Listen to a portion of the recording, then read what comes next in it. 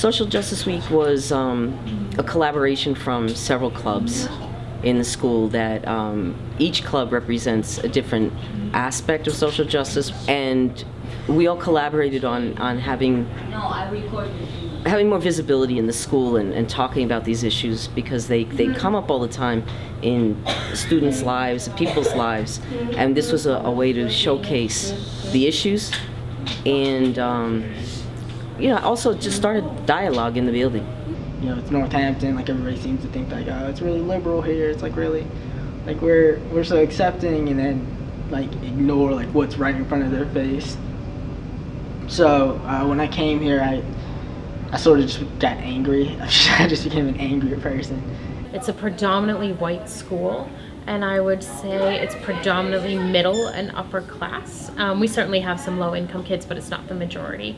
And I think for me, it's really clear cut to see what these kids have. And when you don't live that life, you know, it's harder for them to see. And so a lot of times that leads to judgments. When we do just a week, kids treat it as like a, oh we learned about that and it's not in the front of their face every day but the environment doesn't go away and race doesn't go away and gender doesn't go away and those kids have to deal with it every day. I think when you talk about social justice i think the focus is on character.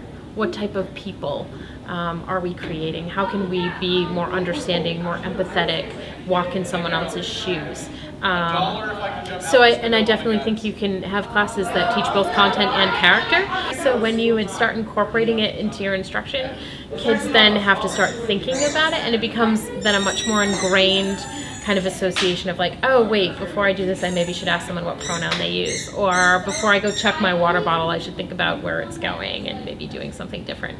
Um, so I think the more that we can talk about it, the, the better the school's going to be for everybody. It was um, a chance for me to remind people of my own pronouns. And so when I sent out an email telling everybody, you know, this is what's coming up in Social Justice Week, and by the way, in case you didn't know or don't remember. You know, so it gives uh, it gave me a chance to say it again and keep putting it out there because I think it needs to keep being put out there. It really validates you because we don't fit in these these boxes that are you know it's it wasn't easy when I was young. I mean, we had a lot of racial issues in the 70s, and I know there are now. But I remember walkouts and, and protests and things in school, and no one really had a clear idea what what it was that was causing all this unrest. And I think had there been something that was unifying in the school, had the administration and the teachers then said, why don't we build a community in here?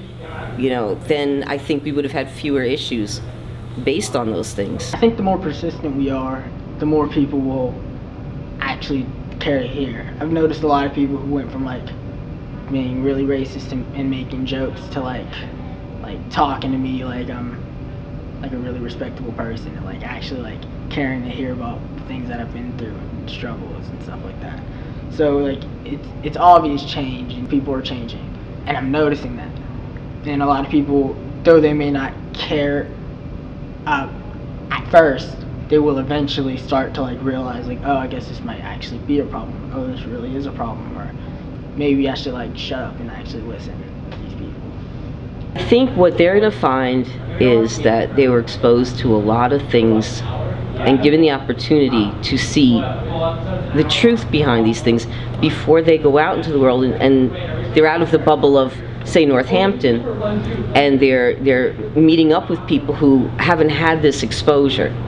And then suddenly it's like wow you know i, I didn't know because i've had kids come back and say it's a very different world out there than in northampton and it is the collective voice of all the groups have been heard we've all we all sort of worked together on this so i don't feel like my personal story really even mattered anymore like i've I've told my personal story enough, you know. So I feel like now other people get this chance, and we've all worked together to sort of have this fall of things, experiences. And the fact that we have these experiences now is like, uh, and we're able to share them with other people, our own personal experience becomes like just a step to raising it up. So everybody's a step, and though we may not individually be heard, we all have worked together with our individual stories to reach one ultimate goal.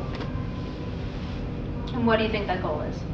Uh, well, acceptance amongst all races, all sexes, all genders, and all classes. Just equality amongst people.